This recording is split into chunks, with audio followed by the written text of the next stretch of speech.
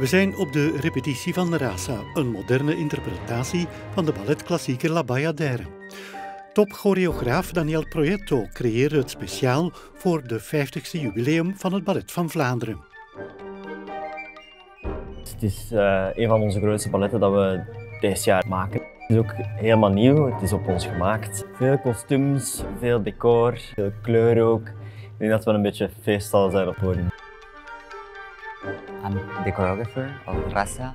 Uh, this is a piece commissioned by Sidi Larbi Cherkaoui. My first full-length work is a three-act piece. Uh, it's my biggest work to date, and as well, I think it's one of the biggest productions that the company has done. I've heard that it was the 50 year anniversary, and I wanted to do uh, something quite large to celebrate this company and all the works they have done in their history. The piece talks about the caste system in India, and I think this is one of the things that I thought it was very important, not to talk about caste, but to talk about equality. I think the entire world experiences inequality and a complete imbalance of power structures, and I think this is why I wanted to, to speak it in a very universal sense, not just about what India is experiencing, but about what the whole world is experiencing in social problems.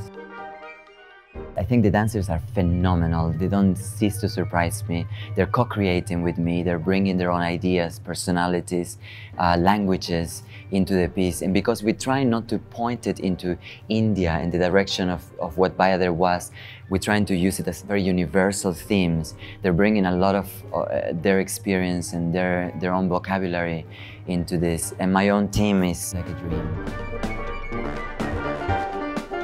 I think any, any art is political, I think whether you like it or not.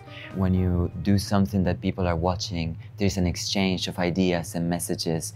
So it's not my intention to be political, I just feel like we live in a very uh, political time. We finally have a voice. Everybody has a voice. You can see it in what's going on in Chile, a whole country waking up and deciding this is not representing us anymore. So of course, then my work is definitely reflecting a little bit what's going on today. I think it's very important to talk about what's happening in our world.